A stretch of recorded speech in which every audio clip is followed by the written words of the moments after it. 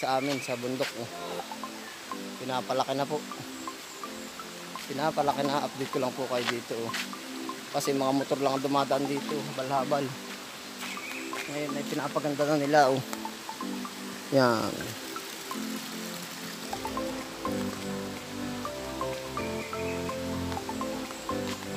Para po mas makabilis ang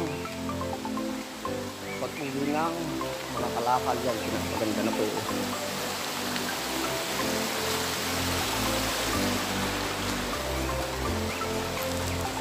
Dami po nangarap sa tulay na aray.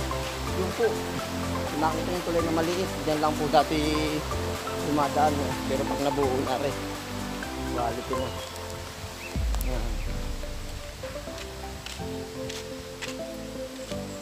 Ari po yung tunay na daan dati ay.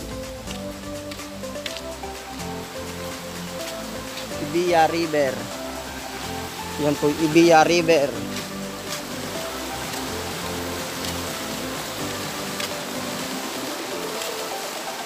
Yan, dito kami dumadaan kabis pa pag napunta sa bukid. Ayan. Ngayon naman, andyan na yan. Oh. Ginawa na yung tulay na yun. Ah, pagkaganda dyan. Kasi nga mapapasok mo ng four wheels, mapapabilis na. Yan, dito dati ang daan. Oh. Pakahirap dito yung daan. Dati.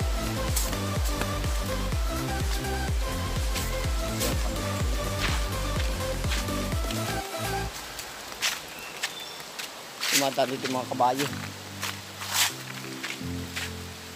Darami.